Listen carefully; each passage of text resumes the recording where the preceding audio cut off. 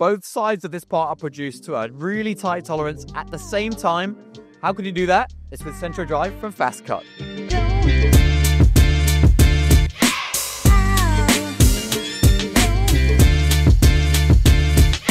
So Clyde, it looks like a standard aluminium component, but you're making this in a fascinating way. How are you making it? So we are clamping the parts in the middle and then turn the both end at the same time. Give the parts really good run out and conventional way. Yeah, absolutely. So the components that we see, a lot of examples you're showing on the stand here today, loads of different uh, materials. Uh, what the components for normally and what requirements do those components place on the machine? Usually requires very good run out at uh, two ends. We do a lot of parts in a transmission box. So this shaft is going to transfer power. So we have to make sure two of two end have very good concentricity. So on a standard uh, conventional way, we mill the both end and then drill the center.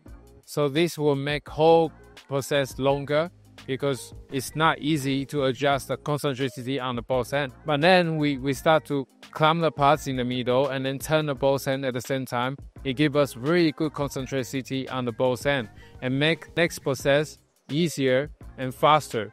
And then also bring whole uh, investment low cost now and also we have a less uh, floor space.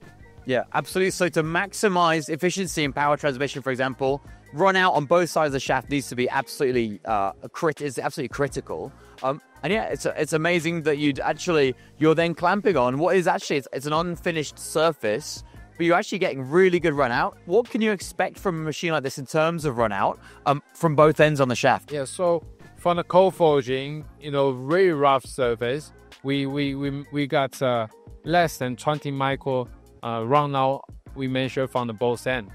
So how do you actually produce this? What's the construction of the machine? So we put the spindle in the middle and then we have a two turrets on the both end. So this allows us to cut the both end at the same time.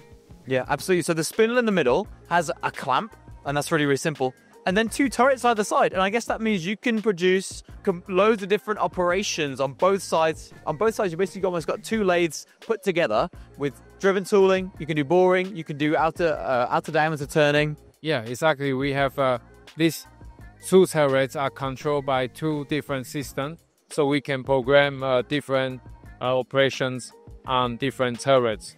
Absolutely. So, why would customers need a machine like this to produce those components? So the customer will need a higher run out for their shaft, and also if they need a faster cycle time. If we use a conventional way to do it, they need to use face drive center to do the next operation. But Fastcut center drive, we already turn the both end. They need just they could clamp the turn OD and then have a deeper cut to finish rest of operations.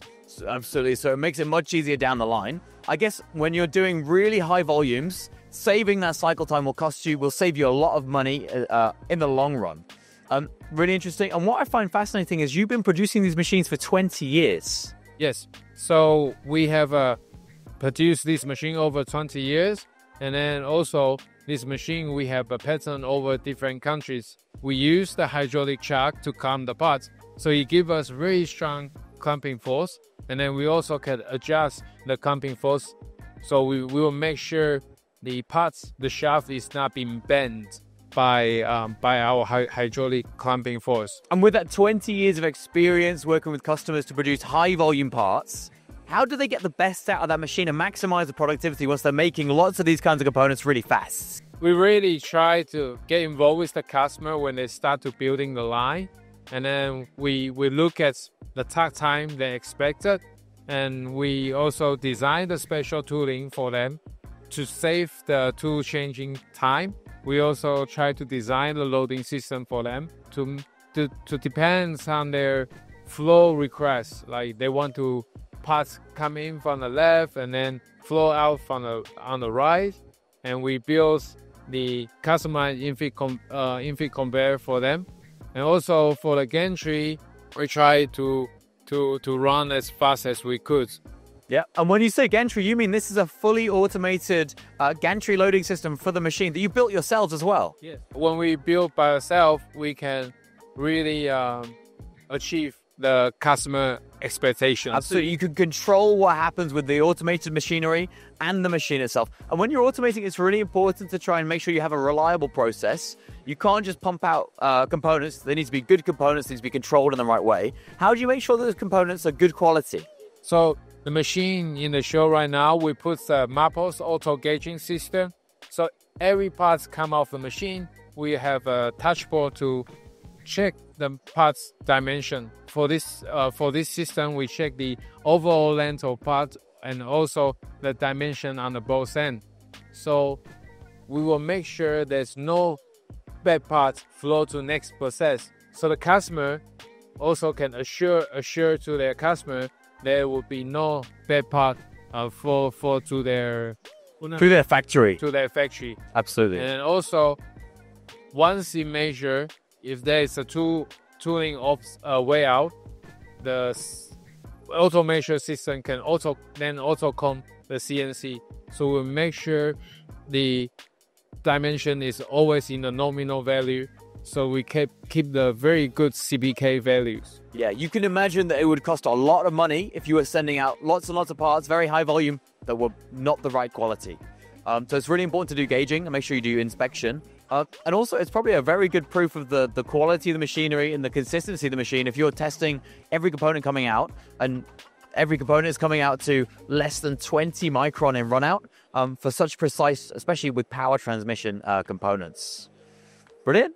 Cool. So that's a fascinating way to produce um, shafts holding on a, what is gonna, I guess, can't otherwise be described as a rough surface, but producing some accurate and maximum precise shaft components. That's here. That's the Center Drive technology from here at TIMTOS. Thank you, Clyde.